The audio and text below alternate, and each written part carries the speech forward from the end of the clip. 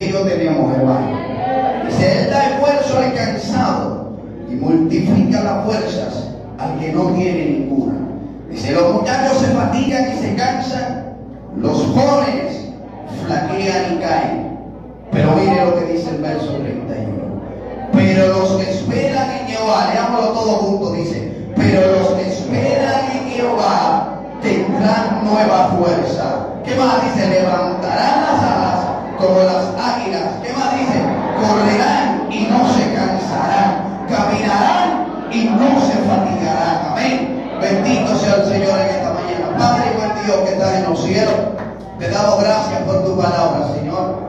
Te pedimos, Dios, que hables a nuestra vida, Señor. Sujetamos todo espíritu, Dios mío, toda obra contraria de las tinieblas, Señor, en el nombre poderoso de Cristo Jesús, Dios mío. Toda artimaña del diablo, todo Dios mío, Señor, que se levanta en contra de la palabra, que se enciende para quemar, Dios mío, una ofrenda al diablo, Dios mío, se apaga en esta hora por el poder de tu palabra, Dios mío, en el nombre de Cristo Jesús, Dios mío. Oramos, Dios, para que todo espíritu inmundo que habita en los cuerpos, Dios mío, mientras predicamos tu palabra,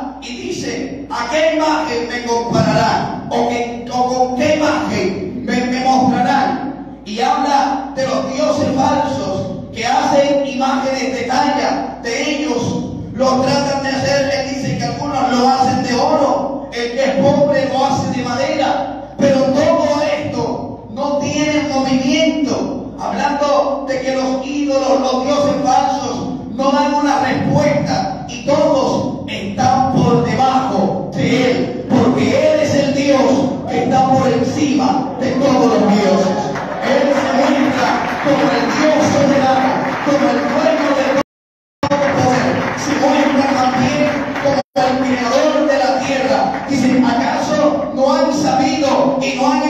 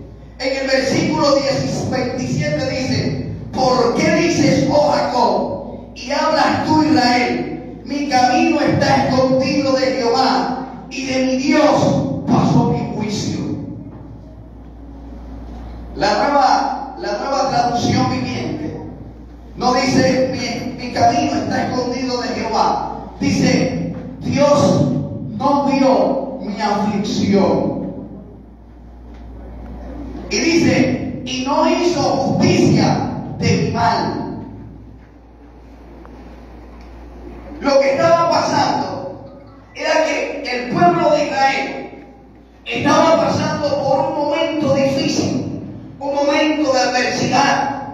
Los reyes enemigos se habían levantado, las cosechas eran robadas, había crisis, había destrucción, habían reyes perdidos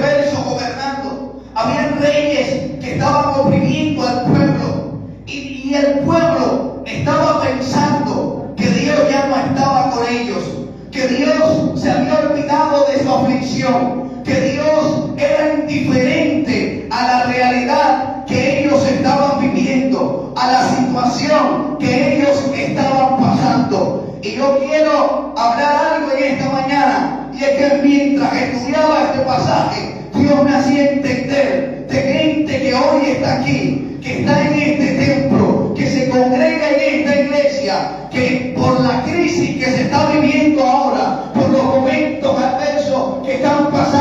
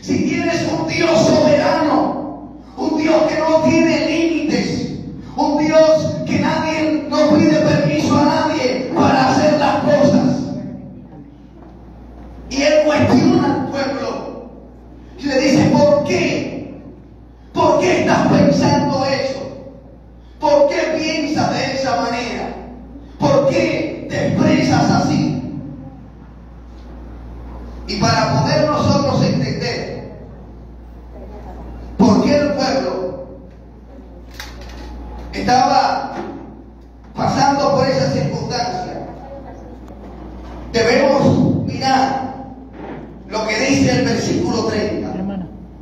Dice, los muchachos se fatigan y se cansan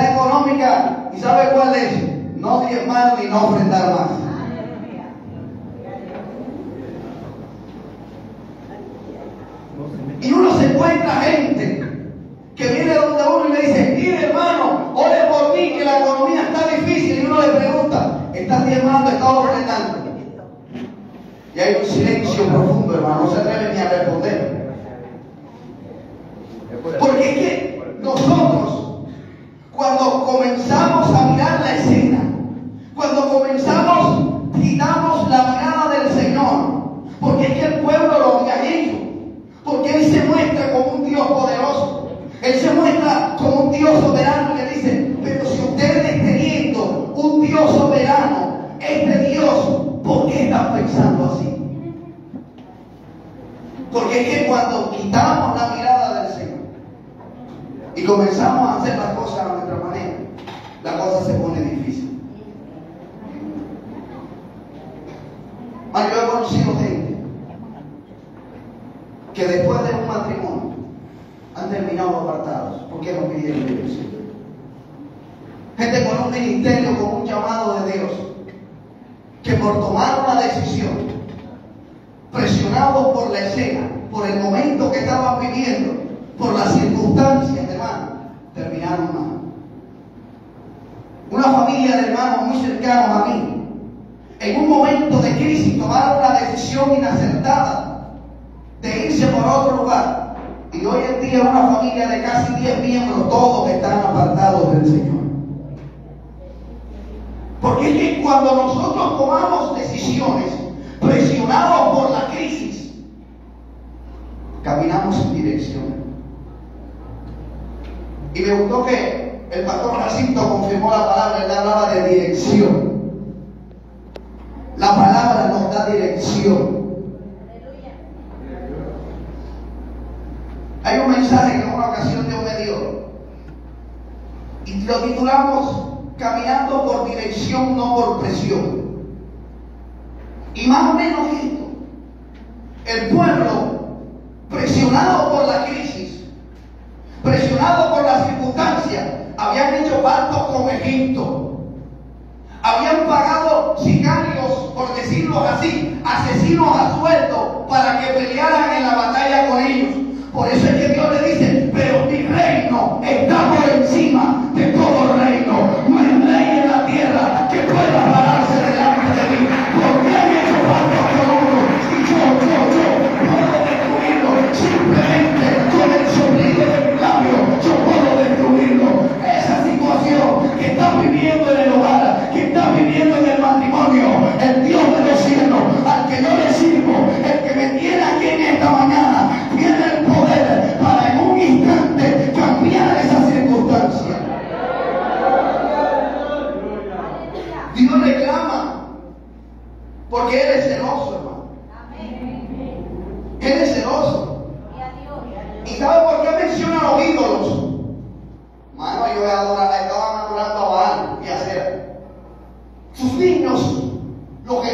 comenzado a ofrecer el holocausto. ¿Por qué? Porque en su afán, en la presión del momento, se habían olvidado del Señor. Se habían comenzado a hacer las cosas a su manera. Habían encontrado la forma de hacerlo como ellos querían, sin involucrar a Dios, sin involucrar al Señor.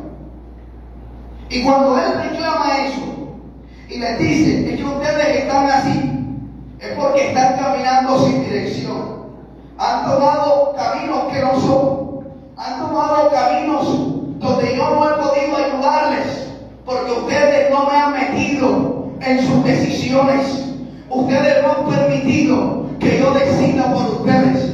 Pero después que Dios les hace entender eso, entonces viene una contraparte.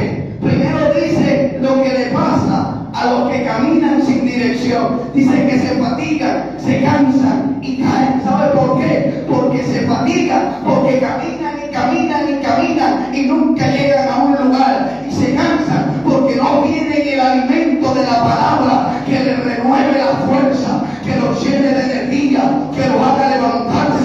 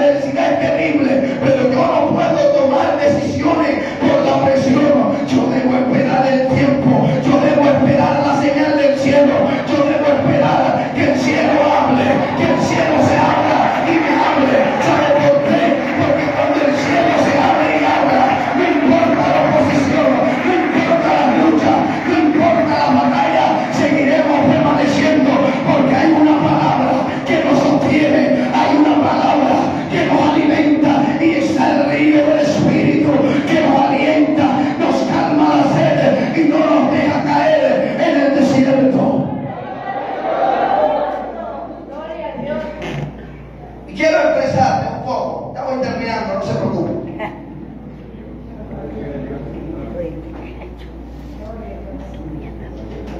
Quiero expresarle este último punto con un pasaje que está en Éxodo capítulo 33, versículo 12, 11. Éxodo 33, 11.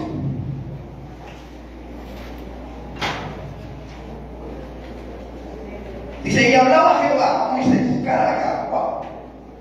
como dice, como hablaba cualquiera a su compañero. Eso es, una cosa, eso es otro nivel. ponerse a hablar con el que tiene a su lado. Así hablaba, así hablaba Moisés con el Señor. Como yo ponerme a hablar con el hermano que siempre habla en el templo. Sentarnos allá afuera y comenzar a hablar. Así hablaba Moisés con el Señor. ¡Qué comunión, hermano! Y dice, y él volvía al campamento, pero el joven Josué, hijo de Nun, su servidor, nunca se apartaba de medio del tabernáculo. Versículo 12. Y dijo Moisés a Jehová, mira, tú me dices a mí, saca este pueblo, había un llamado, había una comisión, a llevar el pueblo y a atravesar el desierto. Dice, saca este pueblo y tú no me has declarado a quién enviarás conmigo. Sin embargo, tú dices, yo te he conocido por tu nombre y has hallado también gracia en mis ojos. Versículo 13. Ahora pues, si he hallado gracia en tus ojos, te ruego que me muestres ahora tu camino, dice, para que te conozca y halle gracia en tus ojos. Dice, y mira que esta gente es pueblo tuyo. Versículo 14. Y él dijo, mi presencia irá contigo y te dará que descanso. Primero habló de que, que me muestres ahora tu, qué, tu camino. Eso habla de dirección. Dice, el Dios, mi presencia irá contigo y te dará descanso. Eso habla de nueva fuerza cuando esté cansado, cuando esté a punto de tirar la toalla. Dice, ¿y en qué conocerá aquí que ha hallado gracia en tus ojos, yo y tu pueblo, sino que tú andes con nosotros? Y mira lo que dice, y que yo y tu pueblo seamos apartados de todos los pueblos que están sobre la faz de la tierra. Eso habla de protección encontramos en este pasaje un detalle. Y es que hay una escena. Hay un llamado a tomar el pueblo y atravesar el desierto. Pero Moisés, que 40 años atrás se había ido de Egipto y había atravesado ese mismo desierto solo, sin dirección, sin Dios y sin nada, Sabía lo que costaba pasar un desierto sin dirección. Sabía lo que costaba pasar el desierto sin que Dios hablara, huyendo del pecado. Y cuando él ve que debe pasar con el pueblo por el mismo desierto, él dice, no, yo no puedo volver a pasar de la misma manera. Yo no puedo repetir la, la misma experiencia dos veces. Entonces, él se detiene no sale enseguida. El mismo Dios le dice, saca al pueblo, pero él no sale enseguida. Él se queda esperando. Y como no ve una respuesta, él dice, oye, ven acá. Tú me dices a mí, saca al pueblo, pero yo llevo rato esperando. Y tú no me has dicho quién va a ir conmigo, quién me va a acompañar. Porque yo no voy a volver a pasar el desierto sin dirección. Y es cuando dice, si he hallado gracia en tus ojos, ahora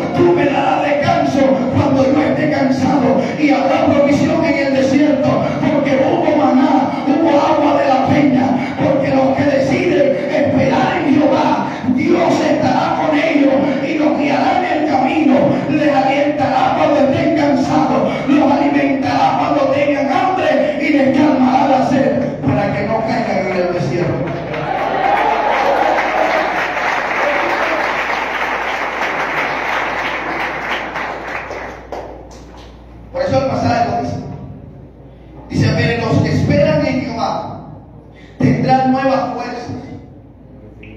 Eso habla de aliento. Eso habla de descanso.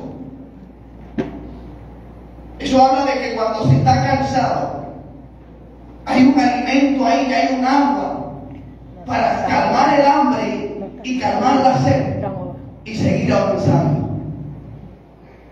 Todas esas personas de las que hemos hablado, si hubiesen tomado esta decisión de esperar en Jehová y no tomar decisiones a la ligera, mi hermano estuvieran en el Señor.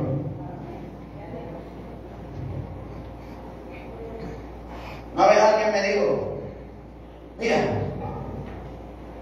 por ahí hay una muchacha que llegó a la iglesia y gusta de mí. Yo estaba soltero. Gusta de ti. Pero hermano, en mi corazón no había nada de eso. Pasaba en ayuno llorando y buscando a Dios. Yo no, no, pensaba en nada. A veces no quería ni trabajar porque quería pasar en ayuno llorando. Y me dice, y mi esposa tuvo, mi esposa tuvo una visión que tú te casabas con ella.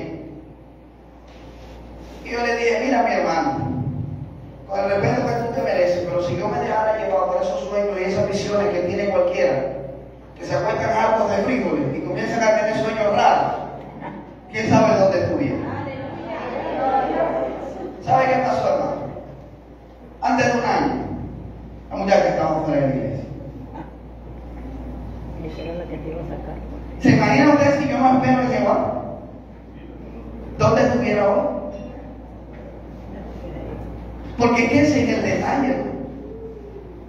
Porque yo le dije que Dios comparó al pueblo con la juventud. Y se acuerda que yo le dije que la etapa de la juventud es una etapa crucial donde se determinan muchas cosas. Pues ¿sabe qué le voy a decir?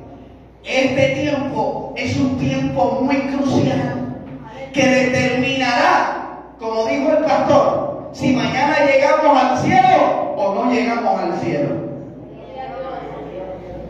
Porque es una etapa crucial de nuestra vida como cristianos. Es una etapa que demanda que para tomar decisiones metamos al cielo primero. Tengamos tanto, meditemos primero en el Señor, que saber que sepamos esperar, que aunque la adversidad esté dura, que aunque el momento esté difícil, que aunque la batalla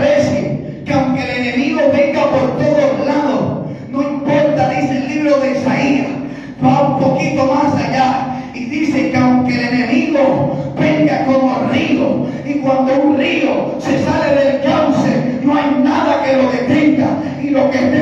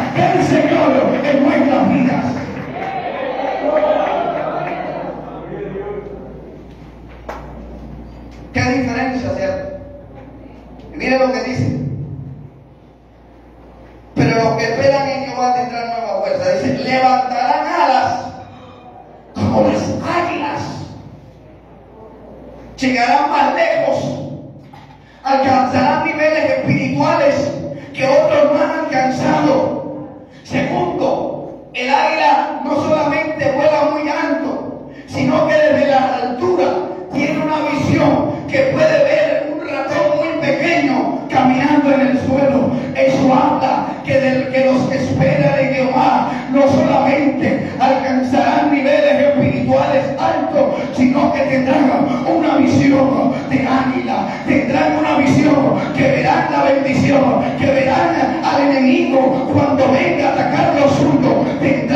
visión que no tendrán que esperar que el enemigo llegue, sino que a la distancia lo verán y nunca podrá tocar a los suyos. Y dice, correrán y no se cansarán. Caminarán y no se fatigarán.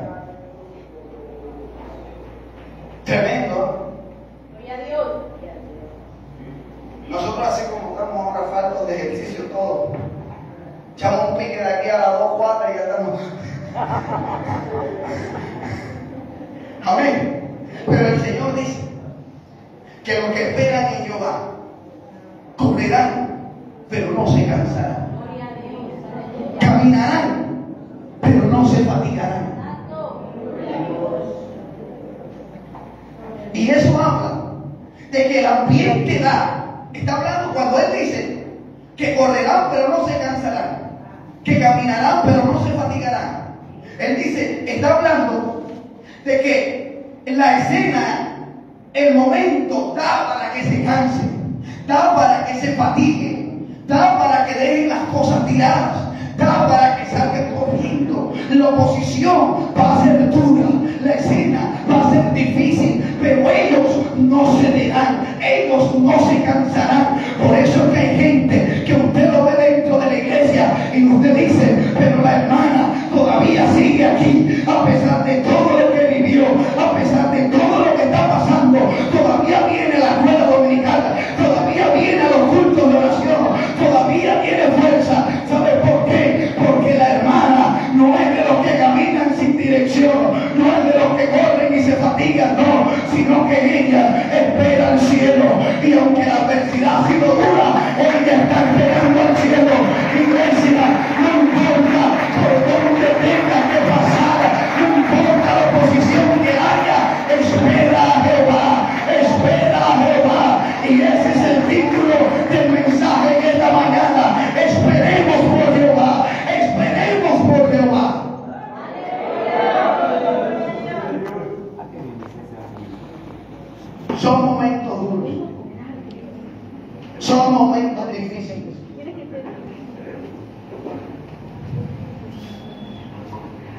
fácil esperar en el Señor.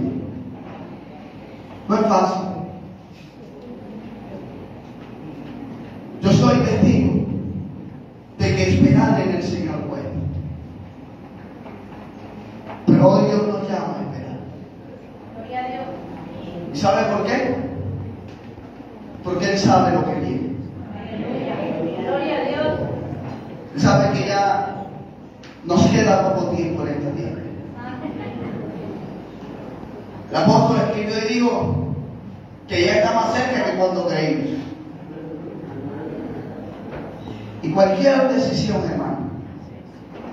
Que usted tome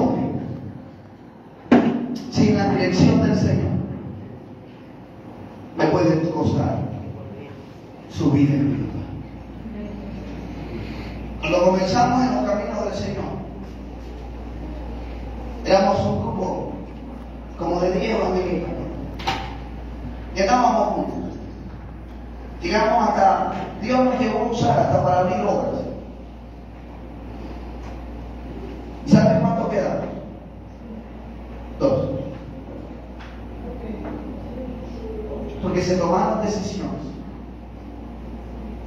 en momentos que no se debían tomar.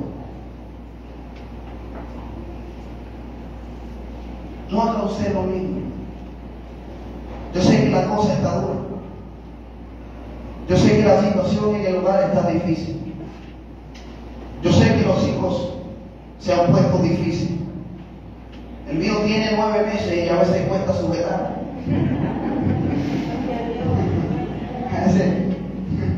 Quiere desarmar la casa. ¿Cierto? Pero debemos aprender a esperar en el Señor.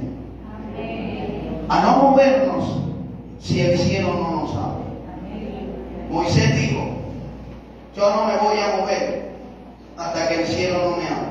Mire, y eso aseguró, mire, una pequeña decisión aseguró mana, protección, agua de la peña, nube en el día, columna de fuego en la noche.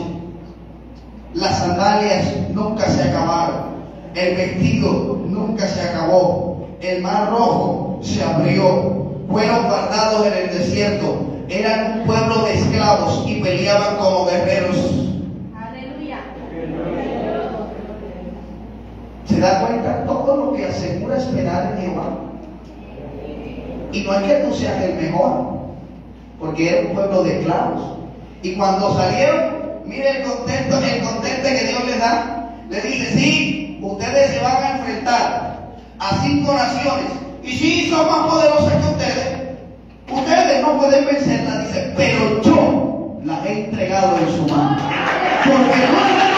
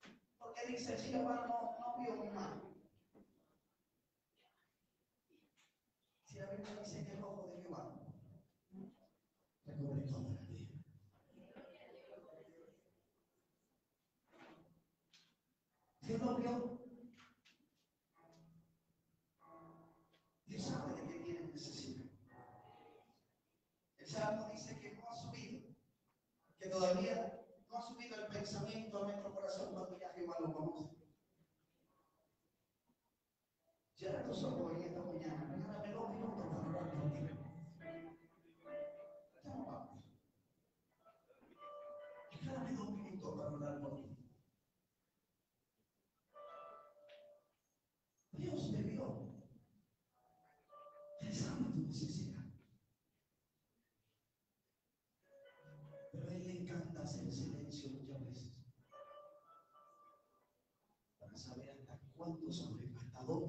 llegar en nuestra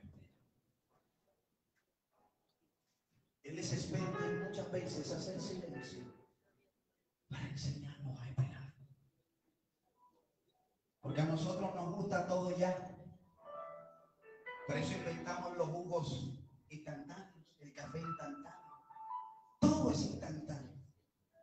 Porque nosotros queremos todo ya.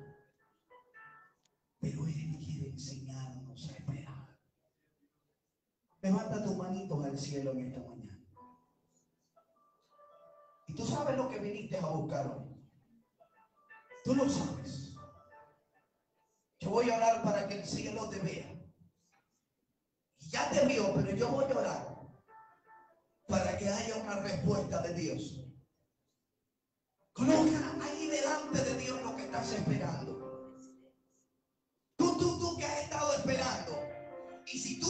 tú no habías esperado, pero ya estabas tomando decisiones erróneas, esta es la mañana para que te pongas a cuenta y digas, Señor, perdóname. Perdóname porque me llevé mi cocotazo por la decisión que tomé. Reconozco que no era esa. Y que a partir de hoy voy a comenzar a esperar. Padre y buen Dios que estás en los cielos, Señor. Mira tu iglesia hoy aquí con, tus con sus manos levantadas, Señor. En señal de dependencia ti. ¿Sabe por qué levantamos las manos?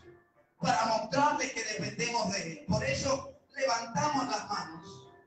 Padre, mira la iglesia, Dios, con esas manos levantadas delante de ti, Señor. Porque delante de ti estamos, Dios. Delante de ti está nuestra causa. Delante de ti está nuestra adversidad. Delante de ti está nuestra lucha. Delante de ti está nuestra bendición. Por eso yo ahora oro, Señor, para que haya respuesta, para que hagas memoria, para que así como te acordaste de Sara, de María y de todas aquellas mujeres que clamaron por una bendición y tú hiciste memoria de ellas y le diste, yo oro para que hagas memoria,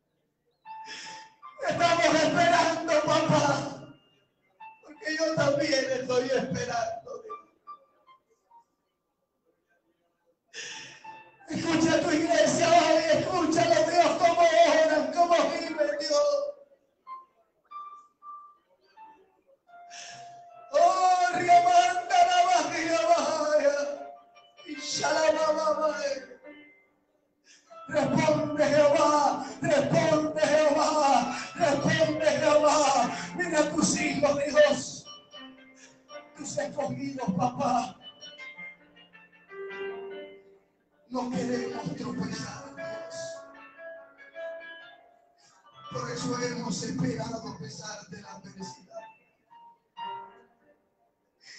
Por eso mientras otros en medio de la pandemia corrieron fuera de tus caminos, nosotros seguimos aquí. Por eso mientras otros por el miedo todavía no se congregan, nosotros estamos aquí congregados porque estamos esperando, porque estamos esperando Jehová. No es que no sintamos miedo, también lo sentimos Dios. Pero el esperar es mayor que el miedo que sentimos, Dios. Padre, gracias te damos en esta mañana, Señor.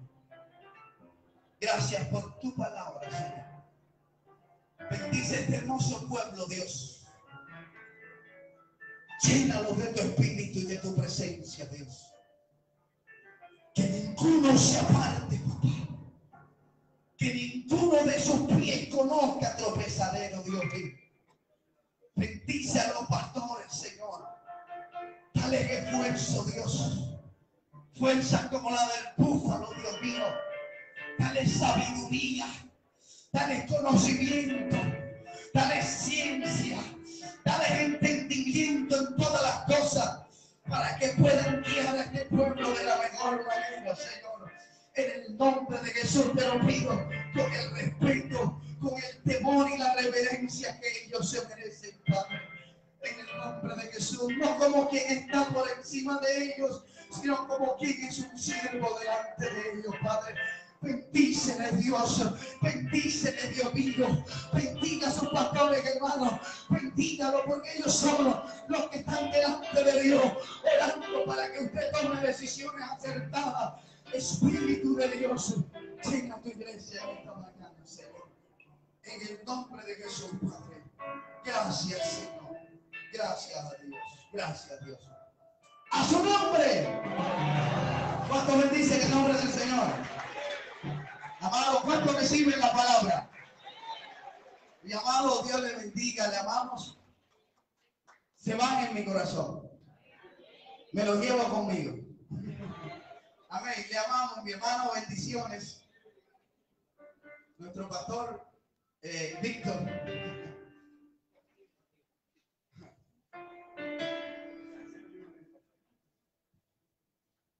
Amén. Por favor, tomemos asiento, mis hermanos. Que el Señor nos siga bendiciendo a todos.